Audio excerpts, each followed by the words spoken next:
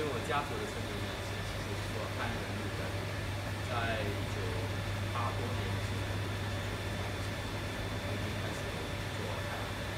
那么我其实是把太阳能灯路路灯用 LED 来做路灯，做太阳那一块呢，就已经变成了今天的三十。啊，对 LED 那一块呢，就是今天我们来市面种菜。啊，所以这一块是因为你觉得它的市场很大，所以你就要投入资金去做。对的，因为其实几年前呢，我就觉得我们大部分的蔬菜呢，新加坡应该是有百分之九十以上的蔬菜都是进口的，所以我们政府也希望把这个百分之十，现在目前使用在国内种菜提高到百分之三十，所以我觉得这个市场还是蛮大的。啊哈，所以呃，所以你们是做灯对吧？自己做的那个灯，因为你有那个太阳能的技术是吧？对，所以呃，这个 LED 这方面啊、呃，我父亲在世之前他还是比较熟悉的，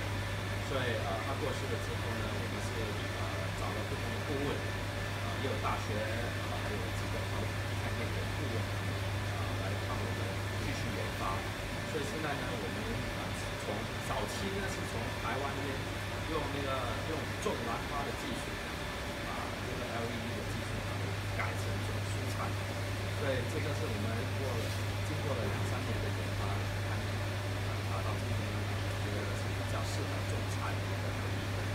啊好，所以就是当然你们有自己的结合了，所以你们是你们是这边生产这个灯，还是说啊？我们呃生产的这个灯呢，不是在国内，是在国外。啊，可是这个灯的规格呢，不是我们呃交给一个生产商帮我们做生产。所以好比如说呃，像我们看得到现在是白灯，白灯其实是比较费电的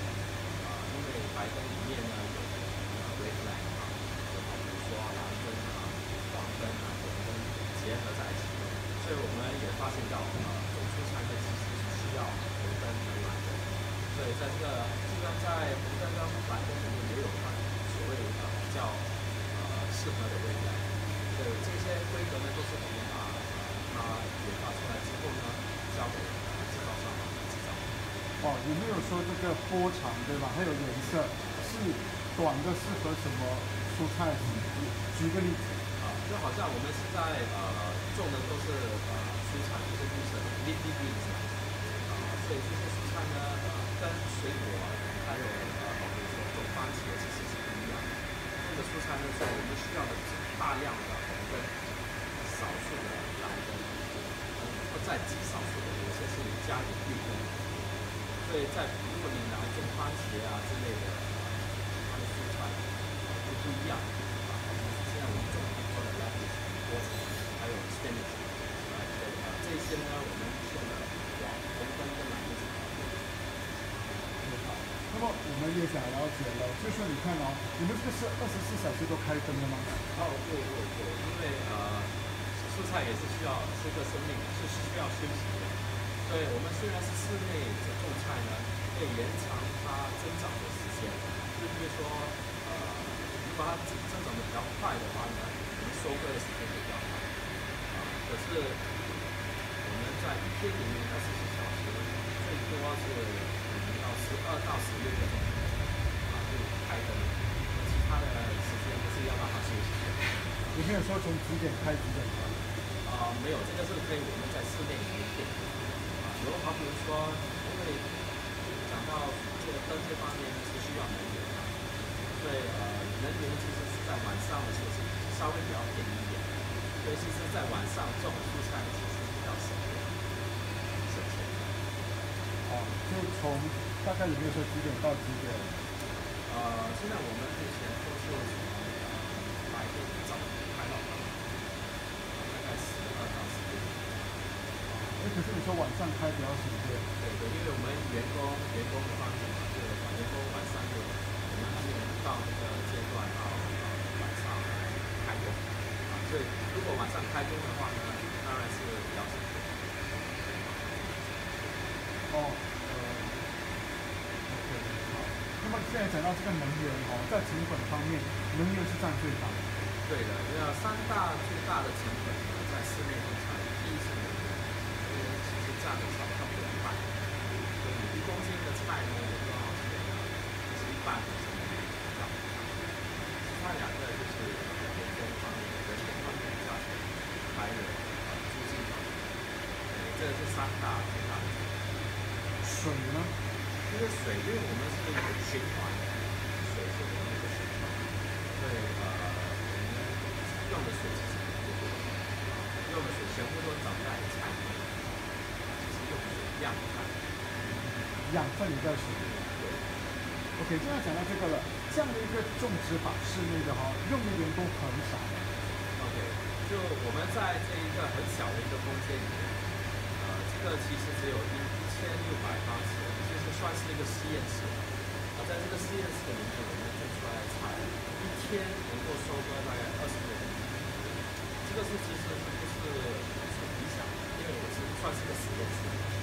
我们有种五十到六十多种菜。在我们一个呃，我们已经扩张到另外一个地方，这个这个这个同样的一千六百方尺里面，我们一天能够收割到五十到六十公斤以上。所以这五十到六十公斤以上是需要两个人在每天在收割，所以用的人呢其实不多，可是呢，呃，我觉得这个人工的价格其实还在，因为新加坡的人，所以你在人工低的方面，你的价格嗯，好，行。那么想问的一些发展，对吧？当然发展空间很大，但是如果以我看，我们出来看啊，这个室内的话只能种这些菜，而那如果说要种那些苹果啦或者香蕉都好，这些应该有局限吧？对，其实我们室内种菜的最大的就是要模仿大自然。对你有不同的规格，然后比如说你要种苹果，大家都知道你要在比较寒冷的地方采种，你可以在室内里面调这个，所以你需要的其实是科技，还有一个很大的空间。啊，有很大有空间呢，有你就可能跟我们的想象力去做不同的东西。啊，所以我们现在目前为止是专在蔬菜，所以就是蔬菜已经做到五十到六十多种。啊，我们觉得这个发展空间是非常大的。所以你下来会去标地，你会去标政府的那个时间。所以呃，讲到这个政府呢，现在要把这个新新的地呃给人家去标来研发，用新的科技去种蔬菜，所以我们我们会参与这个啊，因为我们觉得呃现在呢，这个我们种这个菜的价格用室内技术种出来的菜呢，这个价格已经达标了，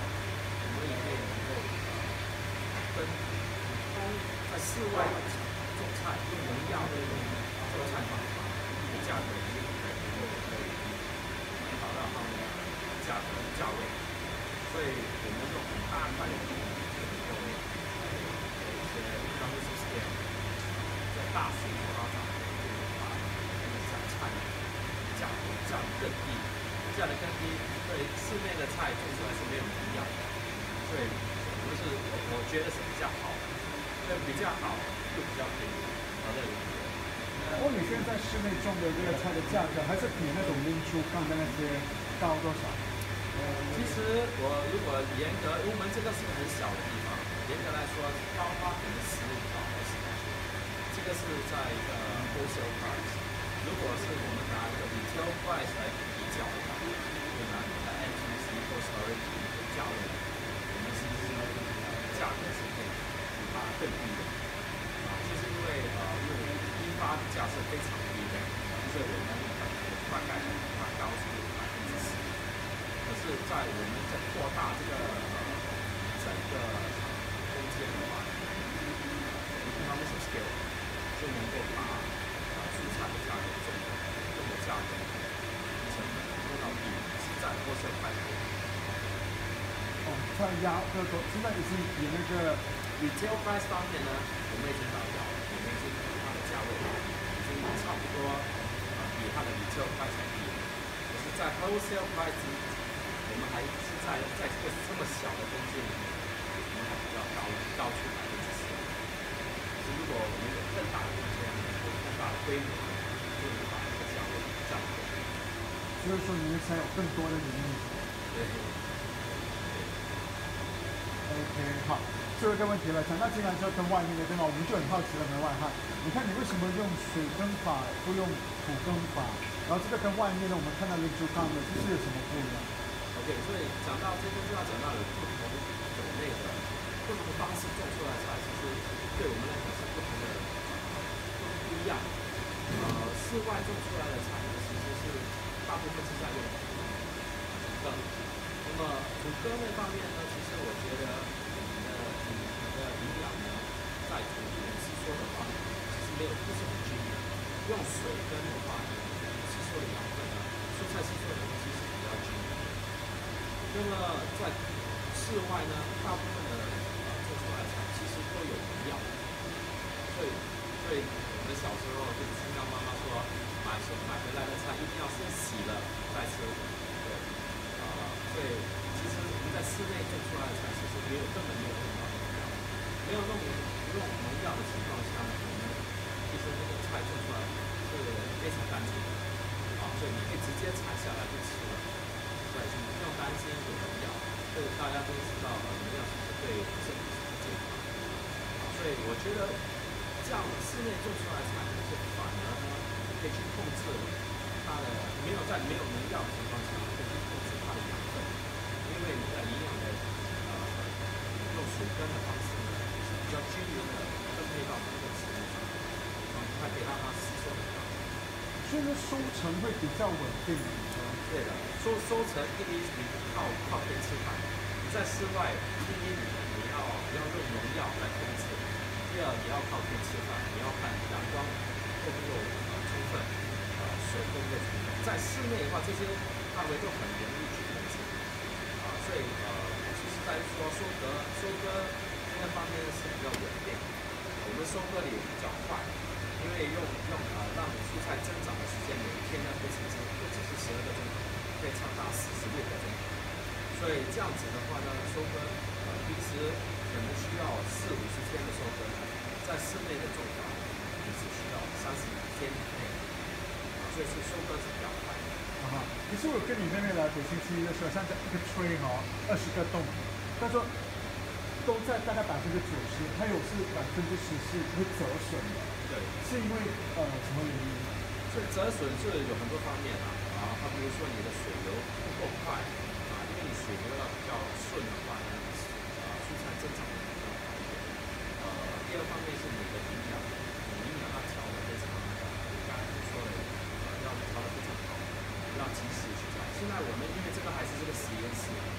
所以用的方式其实是没有用呃自动机械去提调的营养，所以是还是用人工。啊，所以有些这样子，这这个是百分之十的折损可能是可以减少。还有一个人就想到了，就讲到这个呃，为什么就是不是那种 vertical，你可以就让它旋转啊，对，啊，旋转的那一种呃，就是也是算是呃用太阳呃能量来去让增长的，可是这个是需要一种旋转的，让不同的蔬菜呢有有一个有一部分的时间呢去在阳光下啊吸收那个阳光。可是我们不需要，因为现在每一层呢都有一个 LED，每一层都有 LED，就好像每一层都有一个小小的太阳在那边，啊，让那个水生长，所以我们不需要去